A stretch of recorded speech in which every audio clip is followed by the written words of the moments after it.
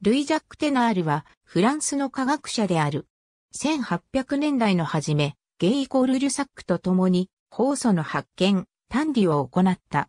貧しい家に生まれたが、薬学の勉強のためにパリに出た。アントニー・フルクロアとルイ・ボークランの講義に参加し、ボークランの実験室で職を得ることができた。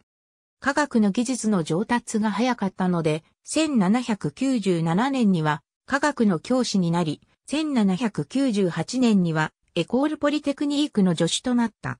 すぐにゲイコール・リュサックと親友になり、共同研究を行うようになった。教師として有能で、優れた教科書を執筆した。1804年からコレージュ・ド・フランスの教授を務め、1810年からエコール・ポリテクニークで科学の主任教授を務めた。1825年、シャルル10世からバロンの称号を得た。業績については以下のものがある。1802年、顔料のコバルトブルーを発明した。発明者の中からテナールブルーとも呼ばれる。最も早く合成された顔料の一つである。1808年、ゲイリサックと共に、放酸から放送を単理した。デイビーも同じく単理に成功しているが、発表は、テナールらの方がわずか9日ほど早かった。ありがとうございます。